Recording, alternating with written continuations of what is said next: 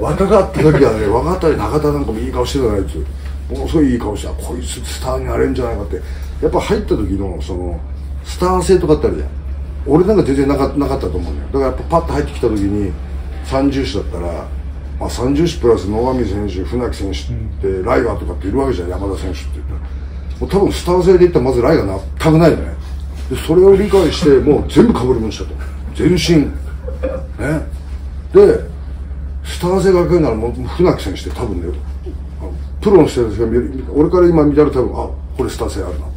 であとやっぱ橋本選手あの顔がやっぱねちょっとハーフみたいな顔してた、岐阜なんだけどね。岐阜の時っていうね。ものすごいとこから来てるんだけど海外なんですかね？もうどっかね。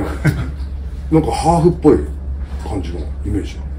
で武藤さんはこの時はなんかね山小屋から降りてきた親父みたいな感じだったんだけどうんだけどもやっぱいやでもスター性で言ったら橋本選手と船木選手の方がパッと見たらスター性あったと思うよね。